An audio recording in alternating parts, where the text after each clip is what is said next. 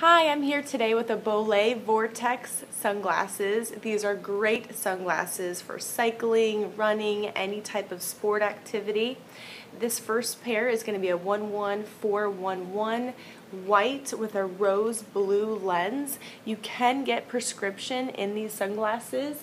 Uh, you will need to purchase an RX adapter, which you'll find on our website and it's just this little clear piece that goes right behind the lenses and you can barely feel it when you're wearing it and it just slides right in there. And another color is going to be the shiny black 11413.